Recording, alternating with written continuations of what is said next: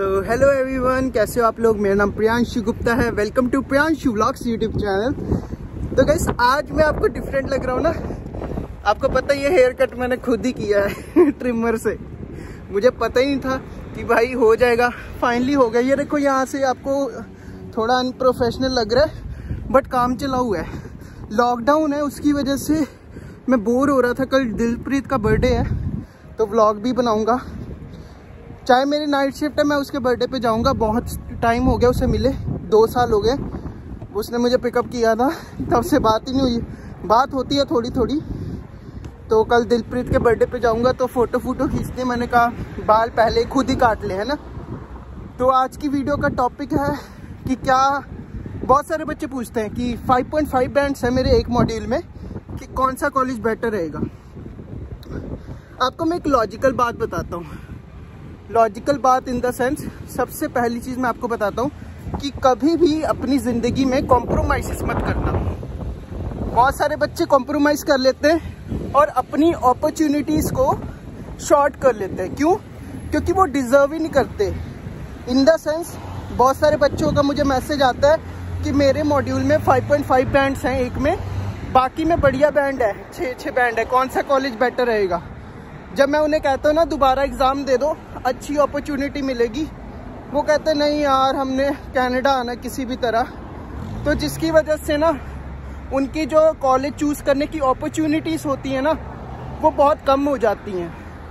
मेरे कहने का मतलब है कि कॉलेज को चूज़ करने की अपॉर्चुनिटीज़ इन द सेंस अगर आपके अच्छे बैंड है सेवन बैंड्स हैं तो आपके पास बहुत सारी अपॉर्चुनिटीज़ होंगी कि आप कौन सा सेलेक्ट कर सकते हो। कॉलेज अगर आपके 5.5 बैंड है तो आपको स्ट्रगल करना पड़ेगा कॉलेज ढूँढने के लिए और इन द एंड बहुत सारे बच्चे फंस जाते हैं कि प्राइवेट कॉलेज में एडमिशन ले लेते हैं, जो कि टोटली अनएक्सेप्टेबल है। तो मैं आपको यही सजेस्ट करूँगा कि अगर आपके 5.5 बैंड्स आते हैं, ठीक है, मान लो आगे तो दोबारा एग्ज़ाम दो। मेरे नहीं आए हैं, मेरा एक बार में क्लियर हो गया वेल एंड गुड है। अगर नहीं क्लियर होता, मैं दोबारा एग्ज़ाम देता। क्यों? क्योंकि मुझे पता है, मैं अपनी अपॉर्चुनिटीज़ कम नहीं करना चाहता। अच्छे बैंड्स आएँगे तो आगे जाके भी आपको आइल्स का एग्ज़ाम देना है पीआर के लिए। यहाँ पे आओगे एक्सप्रेस एंट्री में जब फ़ाइल लगाओगे, आपको पीआर का एग्ज़ाम देना ही पड़ेगा मतलब आइल्स का एग्ज़ाम देना ही पड़ेगा पीआर के लिए। तो इट्स बेटर प्रॉब्लम से हम भागते हैं सारे। बहुत सारे लोग हैं, वो ना कहते बस निकल जाए ओके ओके बैंड आ जाए, बस वीज़ा लग जाए, बस बात ख़त्म। लेकिन कहानी यहाँ पे ख़त्म नहीं होती है। आपको ये चीज़ दोबारा फेस करनी पड़ेगी। यहाँ पे आके दोबारा आइल्स देनी पड़ेगी। तो इट्स बेटर ना कि पहले प्रिपेयर करके आओ कि हाँ 5.5 बैंड है। मैं कोई बात नहीं, चौदह हज़ार रुपये एक्स्ट्रा लगेंगे आइल्स के एग्ज़ाम के। मैं दोबारा दे दूँगा एग्ज़ाम प्लीज़ अपनी अपॉर्चुनिटीज़ को कम ना करो यार, अपनी लाइफ को कॉम्प्रोमाइज़ ना करो। बहुत सारे बच्चे कर लेते हैं। तो मैं उनको उनको देख के यही बताता हूँ कि अपनी जो अपॉर्चुनिटीज़ है ना, उनके साथ भेदभाव ना करो। उनका गला ना घोटो यार।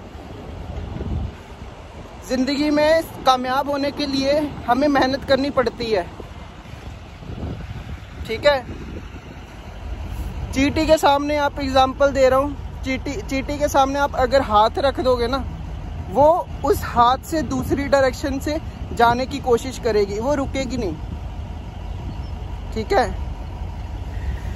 अगर आपको एक जगह से दूसरे जगह जाना है फॉर एग्ज़ाम्पल आपने अपने नानी के यहाँ जाना है, आपके नानी का घर है सौ किलोमीटर दूर। अगर वहाँ पे बस सर्विस नहीं है, फिर क्या करोगे? राइड लोगे? राइड नहीं मिलेगी, क्या करोगे? ऊबर करोगे? ऊबर नहीं करोगे तो फिर कहोगे कि मुझे लिफ्ट दे दो, किसी भी तरह दे दो, आपने जाना है। आपका दिमाग काम करता है ना कि इतनी मुश्किलें हैं, तब भी जाना है। ज़िंदगी में जब रुकावटें आती है, फिर क्यों आप मतलब सैड हो जाते हो? ज़िंदगी में अगर एक रुकावट आती है, आप उसको लेके बैठ जाते हो। 5.5 बैंड है। लेके बैठ गए भाई 5.5 बैंड है, बस। अब इसी में कॉलेज चूज़ करेंगे, इसी में कोर्स चूज़ करेंगे। नहीं, आप ज़्यादा डिजर्व करते हो। आप अच्छे बैंड डिजर्व करते हो। क्या हो गया? पहली बार में 5.5 बैंड आ गए। क्या हो गया? कुछ नहीं होता। दोबारा एग्ज़ाम दो। दोबारा एग्ज़ाम दोगे, ज़्यादा अपॉर्चुनिटीज़ मिलेंगी। क्या फ़ायदा है? अपने आप को श्रिंक करते रहोगे हर एक बार, फिर आपको ये आदत पड़ जाएगी। इधर भी आप कॉम्प्रोमाइज़ करते रहोगे। चलो चौदह डॉलर में जॉब कर लेते इट्स नॉट एन ऑप्शन दिमाग से जितना पूछोगे उतना ही बताएगा ना। दिमाग से पूछोगे कि हाँ मैंने इधर से उस लोकेशन पे जाना है तो वो श्रीनगर का रास्ता तो नहीं बताने वाला। ठीक है? तो दिमाग को काम पर लगाओ और दिमाग से पूछो कि मैं आठ बैंड कैसे ले सकता हूँ। नहीं ले सकता को कैसे मैं रिप्लेस करो? मैं कंसिस्टेंट क्यों हूँ? क्योंकि मेरा गोल है कि मैंने यूट्यूब पर कुछ करना है और आप लोगों की हेल्प करनी है। मैं इसलिए कंसिस्टेंट हूँ। जो मर्ज़ी आए, आंधी आए, तूफ़ान आए, घर के अंदर बैठ के बना लेता हूँ, जाते हुए बना लेता हूँ टाइम नहीं मिलता, लेकिन बनाता ज़रूर हूँ। क्यों? क्योंकि यार, मुझे पता है ना, मैंने मैंने, मेरे, मेरा क्या गोल है। आपको भी गोल रखना है अपना। ठीक है? टेंशन नहीं लेनी। अपना ख्याल रखना।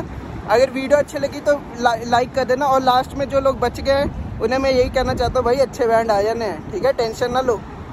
कोई कहेगा ना तेरे अच्छे बैंड नहीं आएँगे। उसे कहा नहीं आते कोई बात नहीं तू अपने काम पे ध्यान दे मैं अपने काम पे ध्यान देता हूँ। ठीक है?